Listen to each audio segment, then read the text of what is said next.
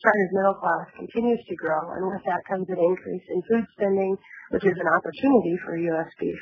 And the business operators that we met with are, are very eager to have U.S. beef. Uh, so when the market does open, U.S. ranchers stand to gain significantly.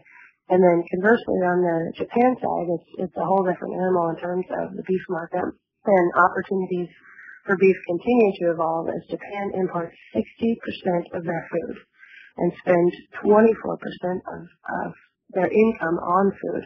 And that's compared to 10% in the U.S. So significantly um, higher and competitive, just as you mentioned.